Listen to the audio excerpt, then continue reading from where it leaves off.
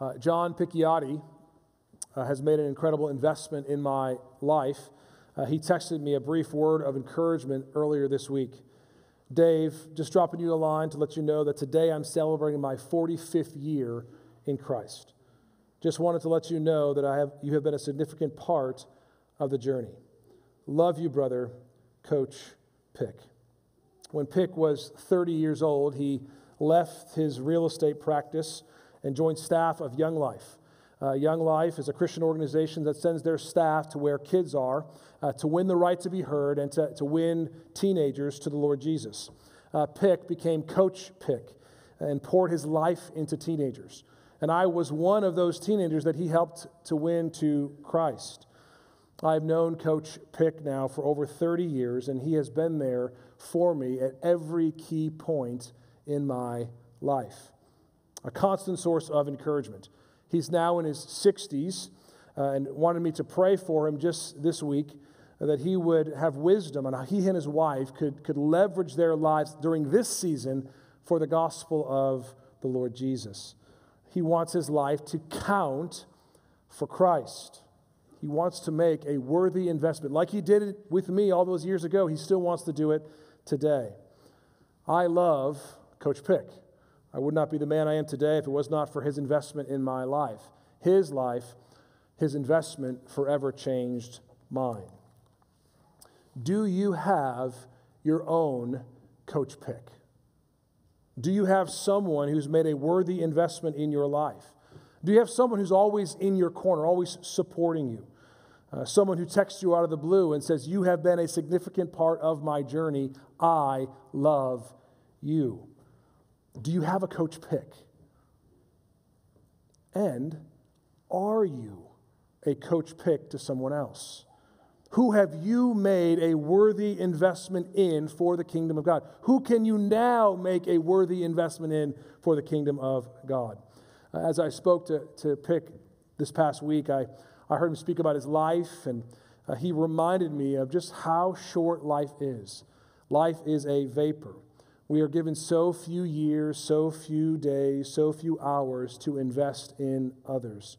I almost could hear the tension in his voice as he is in his 60s and thinking about the end of his professional life. And he still wants to continue to have his life count for the kingdom of God. He wants to make a worthy investment for Christ.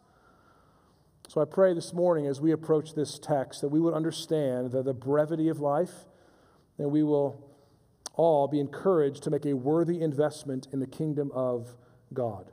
We're going to do that this morning by asking three questions of our text. The first is How are you encouraging people?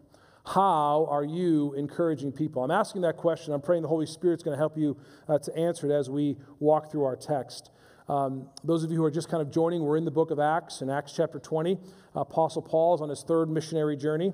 Uh, he was in Ephesus preaching the word of the Lord, and the Lord had gave him great favor, uh, so much so that people's lives were being transformed.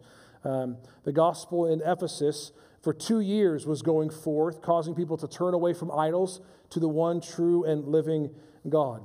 So much so that idol makers, Demetrius the silversmith in particular, uh, caused everyone to come together and started this riot against Paul and the apostles. So the, the word of the Lord was moving so mightily that it was causing people's lives to be, to be changed. The culture was being changed and, and shifted. And yet, people tried to oppose the work, yet the word of God continued to go forth. There will always be things and people that try to discourage or thwart our investment of the kingdom of God, but the kingdom investment will always be worth it. Look at verse 1 of Acts chapter 20.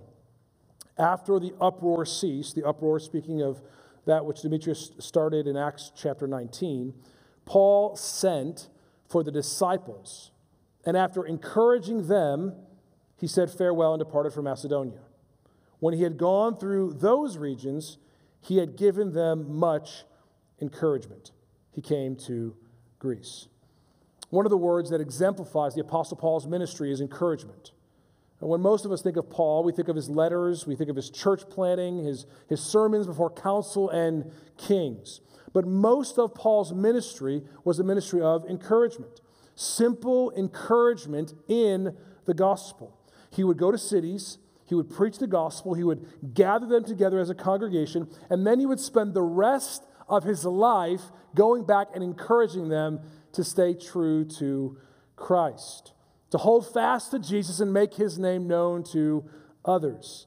So in verse 1, he said he called the disciples, and after encouraging them, he left. In verse 2, he went through all the regions, giving them much encouragement. Then he left. Paul traveled all throughout the known world, leaving breadcrumbs of encouragement everywhere he went. Can the same be said of you? Beloved, I, I pray that we would be a people of encouragement, uh, that we would remind people to have hope in Christ, that we would help people to, to, to suffer uh, the sufferings of this present world, do not compare to the glories that will be received in glory. Uh, let us be reminded, let us remind people that what the Father sees, what we do in secret, He will reward us. Let us encourage us to, to tell people that Jesus is worth it. He's worth to risk all for. Uh, let us be people who are encouraged with grace and mercy day after day, again and again. And let us encourage everyone to make much of Jesus Christ and to make him your greatest treasure. This is exactly what Paul did. And this is what we are called to do. So let me just ask us Park Baptist Church, are we a people of encouragement? Uh, does encouragement ex- exemplify our church family? Does it make it into our homes? What about your conversations with your kids? Do people think of you as being critical of others or encouraging and grateful for them? Are we quicker to say, What's wrong with these people? Or, I'm so happy with what God is doing in this person's life? Paul encourage the saints. And I pray that we would just do the same. But notice that Paul didn't just encourage people in general, he invested his life into specific people. All throughout his ministry, we see Paul surrounded by brothers and sisters laboring alongside him, people that he invested his life in. Look at verses 3 and following. This is speaking in Greece. He said, There he spent three months, and when a plot was made against him by the Jews, as he was about to set sail for Syria, he decided to return through Macedonia. Sopater, the Berean, son of Pyrrhus, uh, Pyrrhus, accompanied him, and of the Thessalonians, Aristarchus and Secundus, and Gaius of Derbe and Timothy, and the Asians, Tychicus and Trophimus. These went on ahead and were waiting for us at Troas. But we sailed away from Philippi after the days of unleavened bread, and in five days we came to them at Troas where he stayed for seven days. Uh, now, Luke, the, the, author of the book of Acts, is, is, is a historian, and he provides specific details in this travel narrative. Now, we may gloss over those details, but these details provide confidence in the historicity, the, the veracity, the truthfulness of the book. It helps legitimize the, the truthfulness of his account. So, Paul picks up a handful of characters in his missionary travels. Sopater was from Berea, the, the, those who closely examine the scriptures. Uh, Aristarchus and Secundus came from Thessalonica. He was there for only three and a half weeks. Uh, Timothy and Gaius were from Derbe, and Antiochus and uh, Trophimus uh, were from Asia. So everywhere he went, Paul took people close to him so he could invest in them. Uh, he took these men with him to, to labor and to train them so that he could send them back to their countries. He spent his life encouraging men in the things of God. In 2 Timothy chapter 2, Paul writes this. He says, You then, speaking to Timothy, one of the ones just mentioned, he said, You then, my child, be strengthened by the grace that is in Christ Jesus. And what you have heard from me in the presence of many witnesses, entrust to faithful men who will be able to teach others also. Share in suffering like a good soldier of Christ Jesus. No soldier gets entangled in civilian pursuits, since his aim is to please the one who enlisted him. An athlete is not crowned unless he competes according to the rules. It is the hardworking farmer who ought to have the first share of the crops. Think over what I say, for the Lord will give you understanding in everything. Now, Paul probably could have wrote this same exact uh, charge to any one of his companions, but Timothy, being the youngest probably among these men, probably needed encouragement the most as often young men do. He says, What you have heard from me, uh, give to others. Uh, Paul says this numerous times in his letters whatever you have heard and seen from me, give away. Paul asked Timothy to give to others what he has first received from him. Uh, Timothy was to look for faithful men who would be able to give themselves to others. Paul modeled what he expected of Timothy. This is an important leadership principle that you can't ask anyone to do what you yourself are not willing to model and show them. Paul invested his life in almost every city and every town he went. He made a worthy investment, and that worthy investment would help the gospel have ripple effects for centuries to come. We have to see that this investment is not easy. For immediately, what does Paul say after he says, invest your life into others? He gives them three analogies. You must be a good soldier, a disciplined athlete, and a hardworking farmer. Every one of those roles require a lot of effort over a long period of time. Discipleship is not for the faint of heart. It requires patience, discipline, and lots of hard work over a long period of time. It is not quick, it's not instant, it takes time. You know, parents, God is calling you to be the main disciple makers of your children. You need to be like a good soldier of Jesus Christ, helping your children not to get entangled with the, the affairs of this world. Like a hardworking farmer sowing seeds of grace and mercy into your children's life day after day, and then one day God will reap a harvest in them. Invest your life in your children. Give them Christ every single day. Do not grow weary in encouraging them to look to Christ. Now, that is not just for those who are being standing forward today, being dedicated, dedicating their children to the Lord. That is for all parents. You know, one of the greatest travesty of the modern day church is that they've removed discipleship from the home and given it to the church.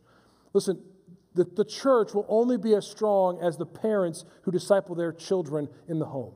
We must continue to give ourselves to discipling our children.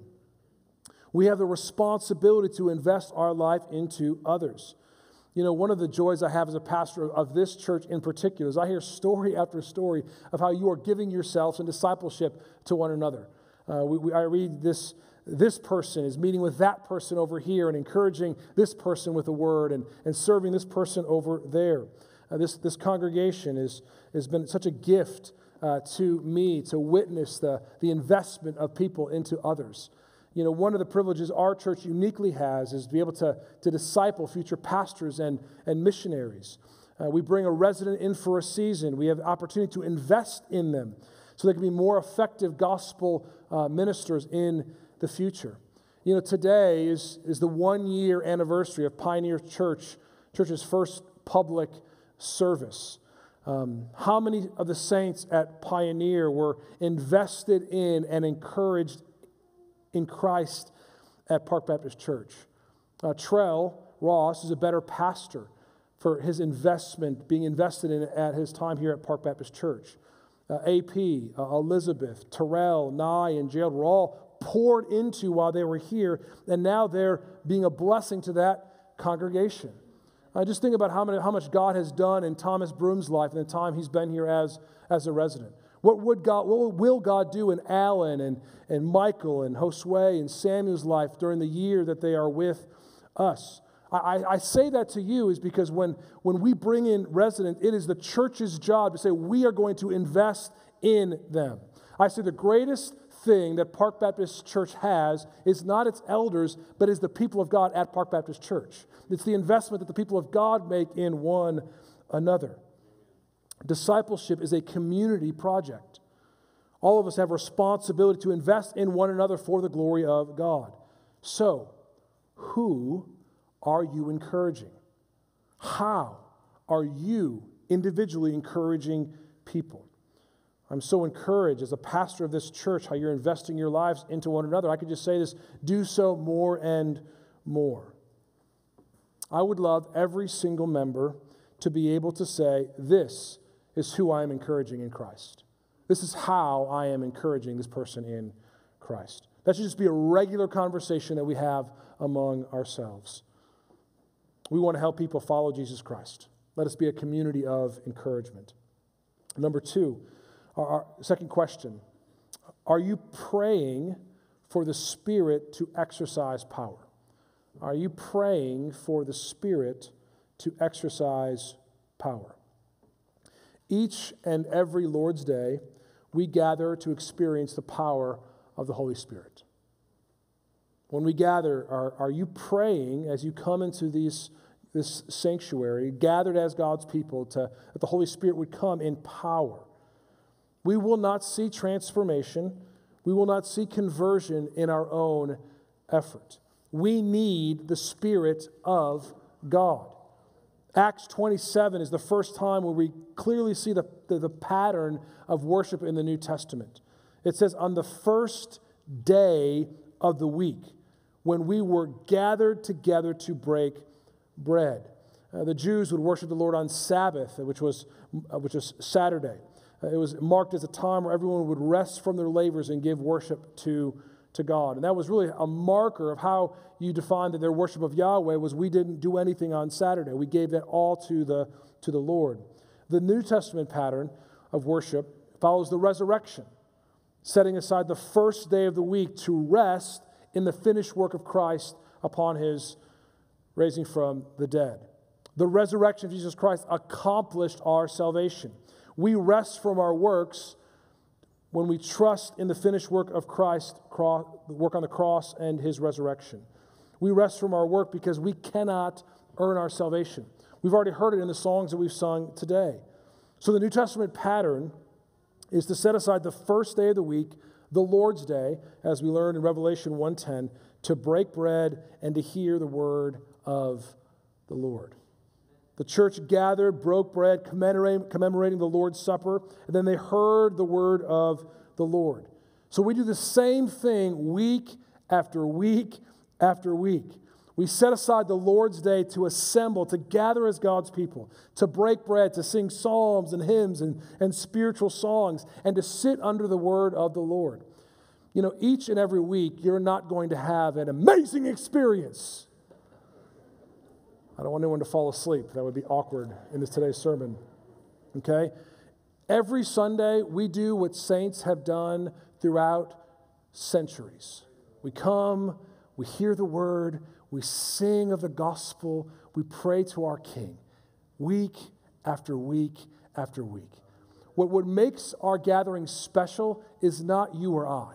What makes our gathering special is the Lord who ordained it. And we come together every single week to experience that together.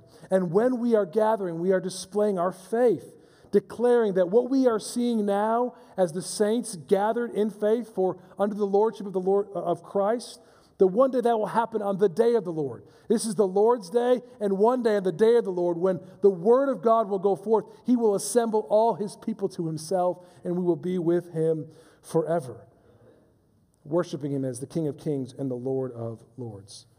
Now, I know that we have many visiting today, visiting family. I would encourage you, if you do not have a church family, find one.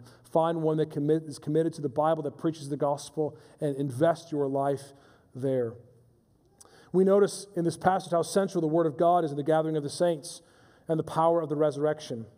But first, we can chuckle on how long sermons can kill you literally.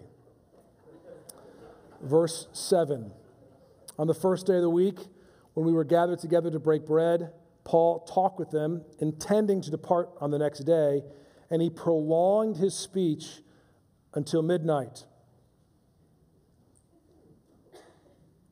Full stop. There were many lamps in the upper room where we were gathered, and a young man named Eutychus, sitting at the window, sank into a deep sleep as Paul talked still longer. And being overcome by sleep, he fell down from the third story and was taken up dead. But Paul went down and bent over him, taking him in his arms, said, be, Do not be alarmed, for his life is in him. And when Paul had gone up and had broken bread and eaten, he conversed with them a long while until daybreak, and so departed. And they took the youth away alive, and were not a little comforted. So the night was dragging on. Uh, there was a lot of lamps burning in, in, in, the, in, the, room. The lamps would suck the oxygen out of the air. So you would have a window or a wind door, right, to, to cause the wind to have air flow through the room. And Eutychus, being wise, went to sit by the window to get some fresh air, sank into a deep sleep, and fell out. It was a third story building, and he was taken up dead. Now, Paul went to him, bent over him, and raised him from the dead. Beloved, Eutychus was dead. Or as I like to say, he was dead, dead. Right? He had no life in him until God raised him from the dead. So Elijah, the Lord Jesus, the Apostle Paul, all have demonstrated by the Spirit's power of raising someone from the dead. Every one of those stories authenticates the message of the gospel and the hope offered to the Messiah, the hope of the Messiah that was to come in Elijah, the hope offered, uh, the hope of the Messiah who came in Christ, and the hope of the Messiah that will come again in the Apostle Paul. The power of God descended on Eutychus. He was dead, and God gave him life. Friend, if you're here and you're not a follower of the Lord Jesus Christ, the Bible calls you dead. It calls you spiritually dead, dead in your trespasses and your sins. You may be breathing, you may feel that there's life in you, but spiritually, if you do not have Christ, you are, biblically speaking, dead. You need a resurrection. God needs to take your stony heart and gives you a, a new heart. You must be born again. We need a resurrection. This is exactly why God sent Jesus Christ to be our resurrection. He came to die for us. The only way that you and I can experience a true resurrection is if somebody else takes our death and gives us that resurrection. This is exactly what the Lord Jesus Christ did. So if you're not a follower of the Lord Jesus Christ, this is what he did. He came and he lived a perfect life. He never sinned, did no wrong. So when he died, he died in your place to pay your debt that you owe because of your sins. And didn't just pay your debt, he, he went to the tomb. He took your death in the grave. He paid for it completely, and then God raised him from the dead. God says if you repent of your sins and you trust in him, he will give you his perfect life. He will give you the record of his perfect life and his resurrection. Every resurrection we see in the Bible is given so we would understand our own need for our own resurrection. And it would point us to the one who gives us that resurrection in Christ. So, friend, if you are not a follower of Christ, please turn from your sins, trust in Christ. You will be saved, and I promise you, you will experience a spiritual resurrection now and a bodily one in the day of the Lord. Repent, turn to Christ, and live. Those of you who are followers of Christ, does the Word of God excite you or does it bore you? We know throughout the history of the church there have been many preachers, myself included, right, who have caused people to fall asleep because of their sermons, okay? But there's been many other people who have gathered, who have fallen asleep because they have been uninterested in the Word of God. They come here not thinking about what God has to speak to me, but they're more concerned with other things. They're more concerned what's happening on their social media feed or their, their grocery list than listening to the word of the Lord. Do you come each and every day with an eager anticipation of what the Lord is going to say, how the Lord is going to speak, how the Lord is going to exercise his power in the gathering of the saints? Do you expect God to speak? Do you pray eagerly and earnestly that the Spirit would save someone who is far from God? That eternal life would happen every Sunday? Do you be sanctify and unify the church? Do you pray for the Spirit to exercise His power?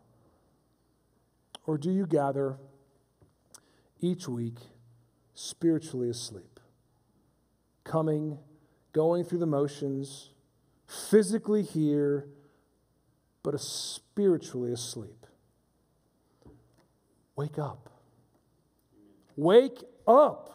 There are many factors, beloved, why we may lose focus on a given Sunday. We could have had a, a long night the week before, a, a restless sleep. All you new parents, you, you'll know what I'm talking about, right? Uh, we, we may have had a long week, but those days should be few and far between. We should come week after week with an eager anticipation for what God will speak through His Word by His servant for the glory of His name. God will speak. Are you listening? How we approach every Sunday morning is, is an indicator of our trust in God's sovereign word. The Bible says his word will never return void, it will always accomplish his purpose. Are you listening? I mean, think about this story of even Paul's investment. He spent all night teaching the word of God. He spoke until midnight. God brought a resurrection through his power. And then Paul continued to spend time with the saints until daybreak. It says that he conversed with the saints. He didn't just talk at them, he talked with them. And the saints were, were comforted in what they saw and heard. Think of the energy it took for Paul to share not only the word, but his time with these people. Now, I am kind of a unique individual than many of you. I'm, a, I'm, a, I'm an extrovert. I'm not sure if you knew that about myself, but I'm a, I like people. I like being around people. Now, there's some of you who are not extroverts. You're kind of on the other side of being an introvert okay? We all know who you are, right? Can, can, you, can you imagine uh, as an introvert or even as an extrovert being with people all day and then all night, investing them, talking about deep spiritual matters? This was a huge investment of Paul's time and his energy. And what did he do? He just did it. He invested his life in these saints. You know, one of the reasons Paul experienced so many blessings and witnessed so many miracles is because he was willing to regularly gather with the saints in the power of the Spirit by his word. You know, there are some services in our gatherings. You know, those of you who don't know, we gather Sunday morning, uh, Sunday night, and, and Wednesday night every week, second Sunday, second and fourth Sunday. Do you guys want to go back to every Sunday? We'll talk about that later. Um, you know, there's some weeks where we, we have a gathering, and I say to myself, I am so glad I didn't miss that.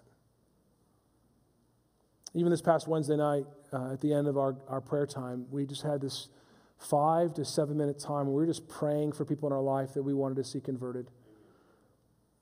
It was a sweet time of just resting in God's power, saying, I believe that God has the power to save. God, save my husband, save my father, save my brother and my sister, save my children. You almost could feel the power of the Holy Spirit in the room that moment and the sweet communion of the saints.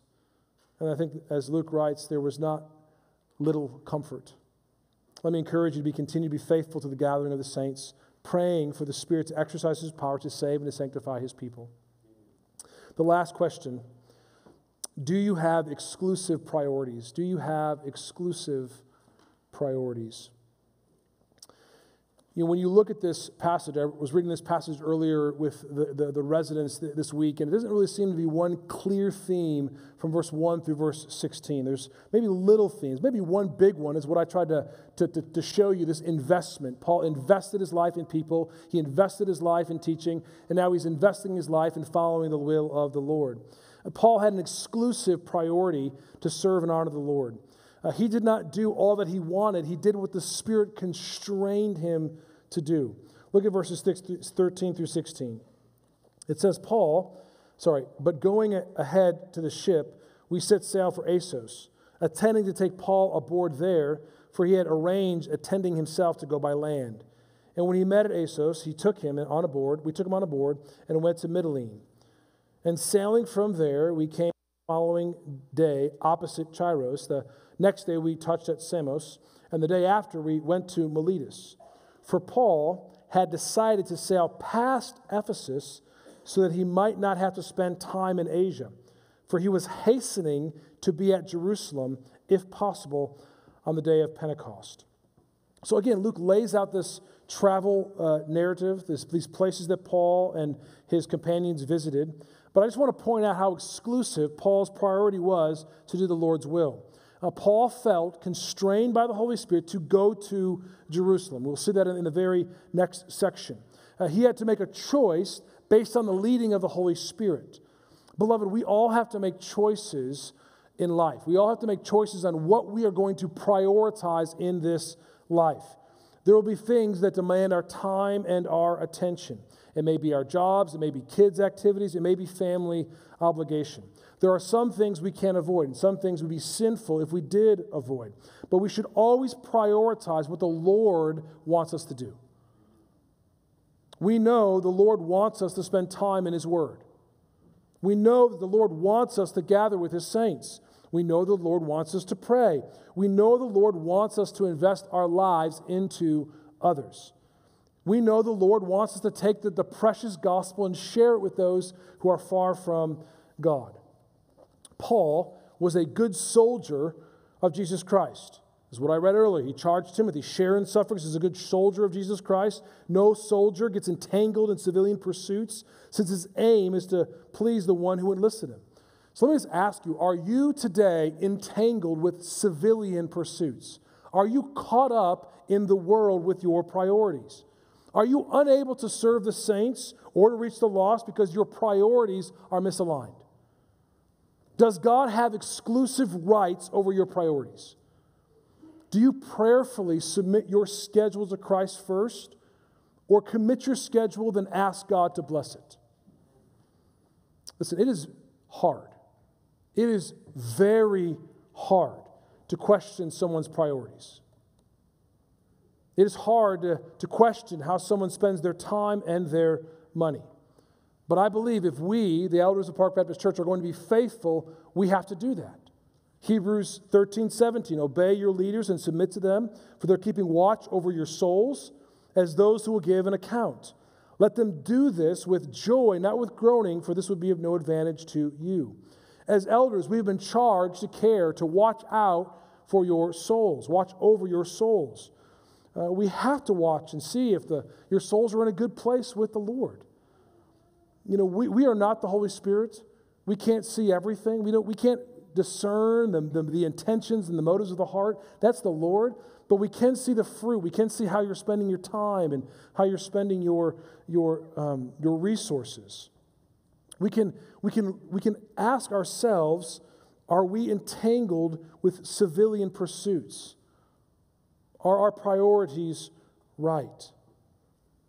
Almost every week, before I preach, I pray that the word of God that is sown would fall on fertile soil. You know, I want the good soil of Mark 4:20 for every person, which says, "But those that were sown on good soil are the ones who hear the word, accept it, and bear fruit, thirtyfold and sixtyfold and a hundredfold." I know that unless God's power attends the preaching of the word, I have nothing to offer. The word of God has to fall on fertile soil. That means you have to hear it, accept it, and bear fruit. That's the goal of every sermon that you would hear the word, that you would accept it, and that you would bear fruit. The sowing of God's word requires spiritual power. And yet, my fear, week after week, is that many of you, the word does not fall on the good soil, but among the thorns. Mark 4 18 and 19. And others are the ones sown among the thorns.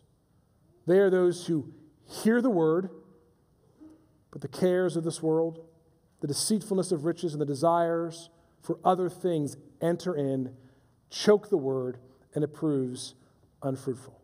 Hear that again and others are the ones sown among the thorns, those who hear the word. That's us. Every single one here. If you're not asleep, wake up, right? You hear the word. You're hearing the word right now.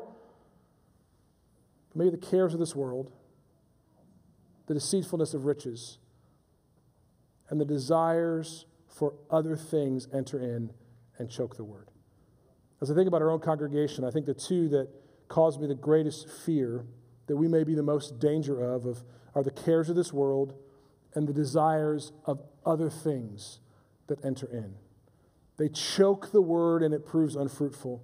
Listen, we cannot avoid the cares of this world entirely. We cannot avoid the desires for other things entirely. We are but we are commanded by Christ to seek first his kingdom and his righteousness. We can control how we respond to those things that come upon us.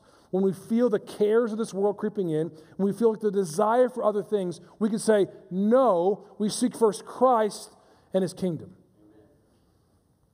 I would encourage you, especially as you answer, uh, uh, enter into a new semester, to analyze your priorities. Do your activities, your travel, your hobbies, your interests push you towards Christ, push you towards his people, or do they pull you away from them? Are you so busy that you miss the time with the saints? Now, listen, I do not want to create a legalistic culture in our church, but I want every single one of us to be a good soldier of Jesus Christ. No good soldier gets entangled with civilian or worldly pursuits, since his aim is on the one who enlisted him. Are you entangled? Do you desire for other things? Are the cares of this world overtaking you? As the one who has been charged to shepherd your soul, let me encourage you to have exclusive priorities for the Lord. It's His will first. The Apostle Paul did many things but when the Lord gave him directions, he obeyed, regardless of the cost. He knew that going to Jerusalem would, would cost him his life. But the Lord said, Go, so he went. So, beloved, if one of our elders sends you a text or calls you and says, We are concerned for you and your priorities, do not get angry. It is said in love. God has given you shepherds because you need them. God has given me shepherds because I need them. Shepherds are sheep too. Part of our church covenant states that we promise to one another every time we gather uh, in our members' gatherings that we will walk together in brotherly love as become the members of a Christian church, exercise an affectionate care and watchfulness over each other, and faithfully admonish and entreat one another as occasion may require. We will seek by divine aid to live carefully in the world, denying ungodliness and worldly lust, remembering that as we've been voluntarily buried by baptism and raised again from the symbolic grave, so there is now on us a special obligation to lead a new and holy life. Listen, the world and the devil does not want you to be fruitful. God has given us each other so that we can help tend the soil of each other's hearts so that we would bear much fruit. So when the Word of God is sown on a Sunday morning, we would hear it, we would receive it, and we would bear much fruit. I pray that we would all have a Paul in our life, beloved. I pray we will all have a Timothy in our life. I have Coach Pick, and Pick has me. We have each other, and God has given us each other so that we would live as Jesus Christ is our greatest treasure. The world hates Jesus. The world hates when we encourage others to follow Jesus. The world hates when we make Jesus Christ our main priority. The world hates when we make the church a priority because the church is when we come together in the name of Christ, submitting to his will. The world is going after our minutes, our hours, our days, so we would take our eyes off of Christ. But our lives should be marked by his glory, beloved. The Lord Jesus had a singular priority for God's glory. He, his glory led him to the cross, it led him to the tomb, it led him to the resurrection, the ascension, and to the right hand of God the Father. Our lives should be marked by a joyful desire to encourage all people to experience the joy of Jesus Christ as their greatest treasure. Is Jesus your greatest treasure? Then encourage others to have those kind of priorities. Invest your life to encourage others to know Jesus and to make him known. If you do that, you will live a life well lived, and you will make a worthy investment into the kingdom of God. Father, I pray as we have looked at Paul's life that we would be encouraged to be more encouragers of others, uh, that we would understand that you and you alone should be our main priority. And we pray, God, that we would desperately seek you day after day, week after week, to exercise your power to bring salvation among us, um, and to continue to uh, work your salvation in and through us. We pray all this in Jesus' name. Amen. Uh, I read earlier